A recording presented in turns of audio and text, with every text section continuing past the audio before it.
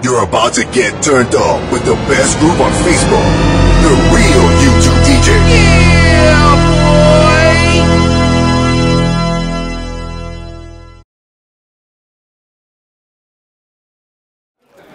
What's going on, everybody? Today we did something very innovative as far as doing the wedding ceremony. Everyone was on Facebook asking me, what is it that I've done? Or what is, what is it I purchased the other day that I posted on the line?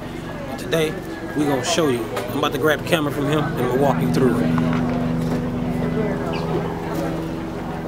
Yeah, it's another alto speaker. As you can tell before I finish this, we are still on location. But it's just the end of the ceremony. I still got a, 10 minutes before I have to be up. So uh, this is another alto speaker. It's just not any alto speakers. But if you notice, you don't see any tables or anything.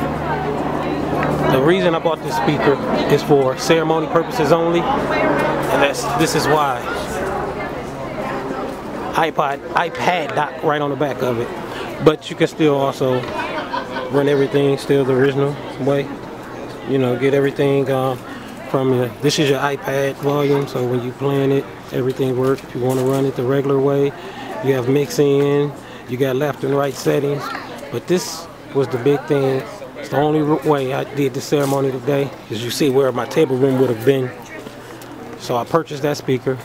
It holds the uh, iPad 1, 2, and 3. If you watch the videos, they'll tell you 1 and 2, but this is a 3 that's in there, and it worked flawlessly. It got every song played, sounds amazing, and this is a 10 inch speaker by Alto, the only one with the custom iPad dock.